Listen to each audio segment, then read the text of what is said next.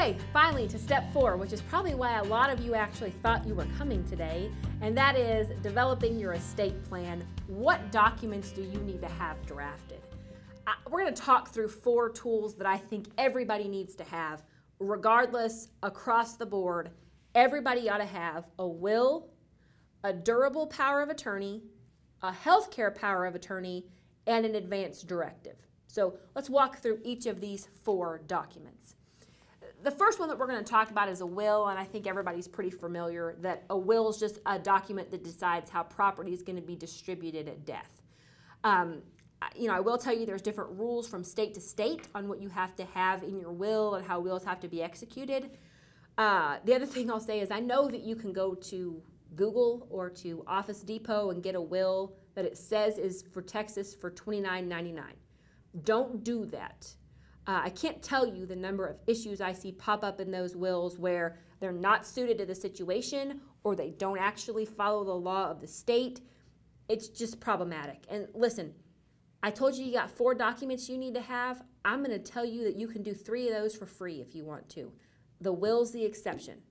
So, this is something I would pay an attorney to do. I would use a lawyer to draft that will. I promise you, whatever you pay on the front end is going to be substantially cheaper than what your estate will pay if there's a problem on the back end. All right, so that's my spill on that. Uh, keep in mind, we talked about this, there are some assets that pass outside the will, right? Those things that are non probate assets. So the important thing to remember there is the will doesn't control everything. And you'll hear people say sometimes, well, I left everything to my wife in the will. That's great for what that controls. It doesn't control everything. And so I really recommend you need to take the time to go investigate your beneficiaries for anything that you may have those designated for. We'll talk about a case in a minute that'll give you an example about why that's so important. Uh, for your will in Texas, it can either be handwritten or typed. It cannot be verbally spoken. We don't recognize uh, those. For a typewritten will, it needs to have two witnesses. They don't need to read the will and know what's in it. They just need to witness you signing it. Right? For a handwritten will, it needs to be completely in your handwriting. A couple of things to consider when you're looking at wills. One of them is you want to try to have a self-proving affidavit. What that is, it's just an uh, affidavit where you lay out, you know, my name is Tiffany, I signed this will on this date, and you get that notarized. Now, let me just be clear. The will to be valid does not have to be notarized. It needs the witnesses. If you have this self-proving affidavit, that does have to be notarized, and the benefit of that is when you go to court to probate the will, that self-proving affidavit is admissible in court to prove that you signed it instead of having to go down and get the two witnesses to come testify right? So it can just save some time and effort there. Uh, it needs, you also may want to think about having what's called an independent administration clause. What that does, when you go to probate a will, it's either going to be a dependent or an independent administration. An independent administration lets your executor, once they're appointed, they have those letters testamentary, they can do what they need to do mostly without supervision from the court. They don't have to go get approval every time they need to sell something or deed something over. If it's a dependent administration, they're going to have to have everything approved by the court before they can act. And again, that's going to take longer and cost more money. In general, I think you probably want an independent administration. Uh, I guess the one scenario I could see somebody not wanting that is if you expect there to be a knockdown, drag out fight amongst the family. You may want your poor executor to be able to say, look, I can't do anything until the court approves it, right? So that's something to think about there. Uh, it's important to revise your will anytime major life events happen. Uh, in particular, if anybody gets married, if someone gets divorced, if kids are born, and if someone dies. Good idea to revisit that will when something major like that happens. The next document that I want to talk about is called an Advanced Healthcare Directive. You'll sometimes hear this called a living will. I hate that term because it's not a will, and people get confused about what it does or doesn't do, what they have or don't have. So we're going to call it an advanced healthcare directive, which is its actual name. What this is, it's an instruction to your physician that says, I either want or do not want artificial life sustaining procedures in the event I am diagnosed as terminal or irreversible. So if you think back, it's probably been 20 years ago now, the Terri Schiavo case in Florida. Remember, the woman was on life support and her husband wanted to take her off. Her parents wanted to leave her on. Huge court battle, and it was terrible. This is trying to avoid that. So this makes clear to somebody do I want artificial life sustaining procedures or not? And again, it only comes into play in the limited circumstance that you are terminal or irreversible. Okay? And you can select on the form what your wishes are. The one thing I will say on this is you need to not only fill out the form, but you need to have these discussions with your family members. Because what you don't want, right, is a court fight over whether or not they need to turn off your life support machine. And this form can help, but what helps just as much is a family who's all on board and making the same decision. So, important decisions to have. This one you can either sign before a notary or you can have two witnesses. So, you've got the option there. Uh, it's effective when you are diagnosed, again, as terminal or irreversible. You need to make sure and give a copy to everyone. So, your, your spouse, your doctor, your lawyer, uh, anybody who you appoint to make healthcare decisions for you needs a copy of this form. This is one where there's a freebie. And so, what that is, is in the Texas Health and Safety Code, there is a statutory fill in the blank form for the Advanced Healthcare Directive. You can, we'll get a link for that. You can go online, print it out, fill in the blanks, have it either witnessed or notarized, and bam, you're done. That can be free. So, Advanced Healthcare Directive, again, really good way to make your wishes known. Also, a really good way to help uh, confirm for family members who may have to make those difficult decisions that this is what you wanted because you signed it and put it in writing. So, that one's an important document. The next thing that we'll talk about is the medical power of attorney. And this one, again, still relates to medical, but it's different. So, what a power of attorney does is it lets you appoint an agent to act on your behalf. For a medical power of attorney, the agent can act on your behalf to make medical decisions in the event you're incapacitated. Okay, so this is different, right? This says incapacitated, not terminal or irreversible. So, for example, last summer I ended up in a surgery. Something went not what they expected. They went to my husband, who was my medical power of attorney, said, What do we do? He made the decision. All right, I wasn't terminal, I wasn't irreversible, but I couldn't tell him what to do. So that's how the medical power of attorney comes into play. Uh, this one, again, you can notarize or you can have it signed by two witnesses. It's effective when your doctor certifies that you are unable to make the decisions, and it's only in place while that continues, right? So, like, once I woke up from my surgery, I'm back in control because I can make my own decisions. Again, we have a statutory form available. All you have to do is go get that, fill in the blanks, get it notarized or witnessed okay? On the medical power of attorney, here's one where you really need to think about who you're appointing to make these decisions, right? Because I have a friend who talks about that being the executor of someone's estate isn't a gift. I don't think being a medical power attorney is either, right? Because you need to think about who could make the decisions you would want made, especially in what may be really difficult circumstances. So I would just really encourage you think through carefully who you appoint to be your medical power of attorney make sure that they know your wishes, make sure that they uh, have the strength to do what you would want done. So that is the medical power of attorney. The last of our four key documents is the uh, power of attorney. Same concept here. We're going to have a, a person principal. You're going to appoint an agent to make decisions for you, but this is going to be having to do with your assets, right? So managing property, managing your business, managing your finances, okay? Uh, the principal here can select powers and include any limits. So, for example, you could say, you know, they're allowed to do everything, but they can't sell any property, for example, right? And there's things on the form you can choose yes or no. There's special instructions you can give, so you can really kind of personalize it. This one has to be notarized. You can't use a witness on the power of attorney. And there's a decision you're going to have to make. does this document become effective when you sign it, or does it only become effective when you become incapacitated?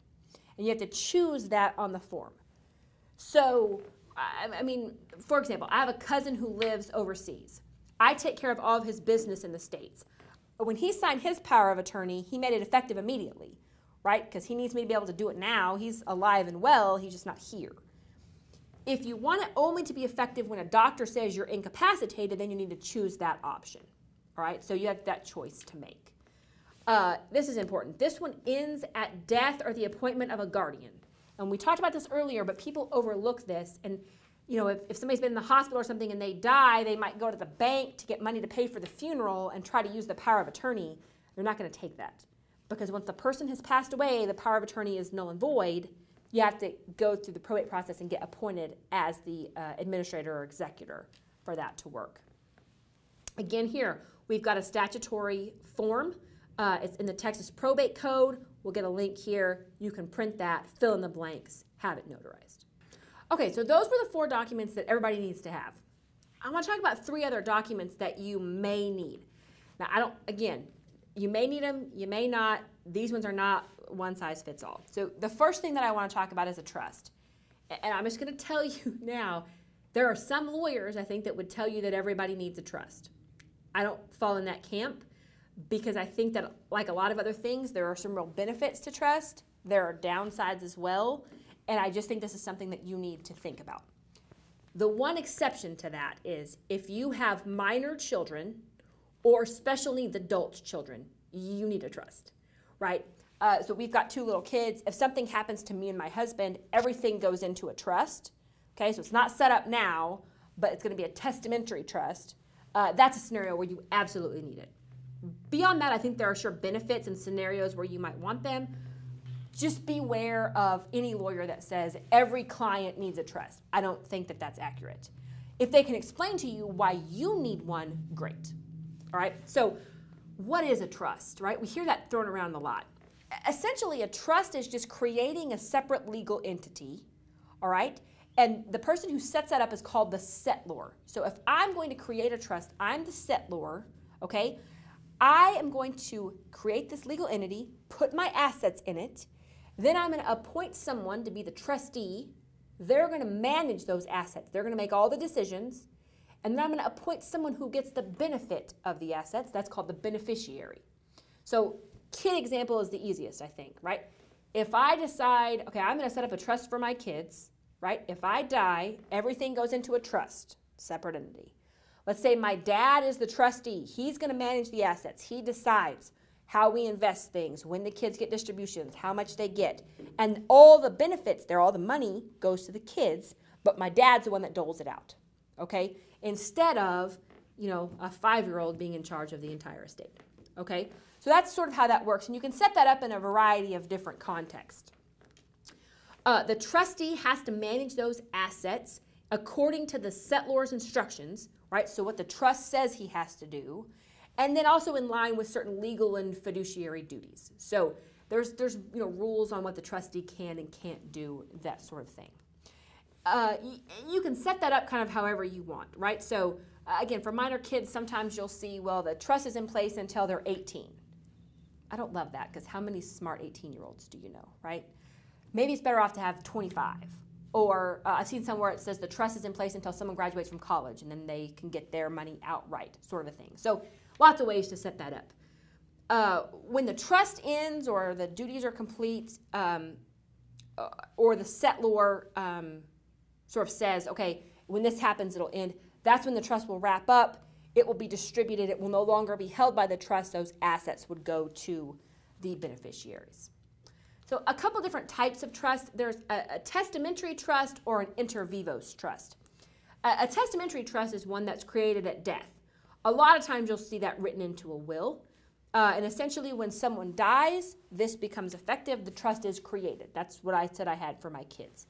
Uh, it does not fund until the death occurs and the probate process you know, proves the funding of the money. Uh, it's funded by the executor with the settlor's assets. So in the trust, you would say what assets you want to be put in there. That's how the testamentary one occurs. Inter vivos is also called a living trust, and you would create that obviously while you're living. Okay, uh, the settlor creates it and gets to choose is it a revocable trust or an irrevocable trust. All right, and so there's pros and cons to both of those. A revocable trust, obviously, you can change or take back if you don't like it. Okay, and it still gets the assets into the trust. That gets you limited liability because you don't own them anymore. Right? So again, if somebody sues over something, sues the trust, your personal assets are protected. Uh, it does get it out of your name in general, right? But if it's revocable, there are some trust protections you don't get. So, for example, on a revocable trust, that's still considered part of your estate for estate taxes, likely, because you could go in and pull it right back out. Uh, may still be considered part of your state for Medicaid, those sorts of things. You got to look at that. There's more protections for an irrevocable trust because obviously once you put it in there, it's in there, you can't get it out, right? Uh, and so the, some of the protections that we talked about may be available there. So you have to make that decision. Again, I do that in conjunction with an attorney. Uh, again, remember, property in a trust doesn't go through the probate process because it's, it's a non-probate asset. It's still owned by the trust. So that's something else to keep in mind. That may be another benefit. Uh, when are trusts beneficial? When should you think about using one? If you need to provide for and protect a beneficiary, again, minor children, special needs children, uh, or special needs adults. If you've got a scenario where you just don't think that the person can manage the money, right? They're, they don't make good financial decisions, or they've got creditors out the wazoo, right? Maybe we put it in the trust where they can't do something dumb with those assets. Uh, there can be flexibility of asset distribution in there, so you can write that out where the the person you choose to be trustees can make you know decisions about what to do there. You can avoid the probate process. We talked about that. If you need to avoid estate tax liability, an irrevocable trust could be a good option to do that as well. Uh, potentially to avoid creditor issues. Now, there's some limits there. If you're creating the trust after you already know you've got creditors after you, that may not work. But if you want to create that, your creditors may be unable to uh, reach that. Privacy, right? One thing is, since this doesn't go through the probate process, none of this is public record. Whereas if you have to file your will in probate and file an affidavit uh, with you know all your inventory, now that's public record. So for some people, that can be a real concern. It, it can allow for professional management of property. Sometimes you'll see people put assets into a trust, and the trustee is a bank or a, a credit union, or something. You'll see like professional. You got professional people managing those assets for the benefit of your uh, beneficiaries. There could be potential tax benefits to using a trust. Again, that's going to be dependent on a lot of things you'll need to talk about with your accountant to see if that would be beneficial to you. Okay, next up, let's talk about the out of hospital DNR. Again, a form that some people may need, certainly not everyone. Uh, so a DNR is a do not resuscitate order. And essentially what this form is, is it's a declaration to people outside of hospital employees. So EMS or uh, nursing home or you know, people that you do not want resuscitation measures to be taken. The ones specifically listed are CPR, transcutaneous cardiac pacing, I think that's right, I did not go to medical school, defibrillation, advanced airway management, and artificial ventilation. So again, if it's somebody like me, right, if I conk my head and need CPR, we need to get cracking. If I'm somebody who is on hospice or who is extremely old and just doesn't want to be hooked up to machines, this is where we would need the out of hospital DNR. Uh, this one has to be signed by two witnesses or notarized, and it has to be signed by a physician. So you have to make this decision in conjunction with a doctor, and they have to sign off on it, be, given the decision that you're making. Um, it needs to be readily accessible if you need it. So if you have someone who has an out of hospital DNR, you may need to like le legit tape it to the front door. Because what I'll tell you happens is if EMS gets called and it's not right there, they they have to get, you know, they have to intubate the person or they have to start CPR. Uh, and again, this is one of those scenarios where you need to communicate with your family what your wishes are. Especially you can't find that DNR, somebody's screaming, save them, save them. That's what they're going to have to do. So again, some things to think about there. There's a statutory form that's available here. It's going to be found in the Texas Administrative Code. Uh, you can print that off. We'll have a link for that. Uh, but do keep in mind it does have to be done in consultation with your doctor and then uh, either notarized or signed by two witnesses. Okay, so then the last document that some people may need is a document providing for child care for minor children or for adults with special needs. A lot of times you'll see these documents that are kind of rolled into the will, and that's part of the will, but you may need to have a separate document sort of depending on the situation. You want to make sure that you uh, have in there both uh, appointment of someone to take care of the, the person as far as a guardian goes. You'll also need to appoint a conservator that will take care of the financial aspects. They may be one and the same, but there's sort of two different duties there you want to make sure that you spell out. So again, not everybody's going to need that. It may be part of your will, or it may need to be a separate document. Just make sure that's something that you've addressed in those documents.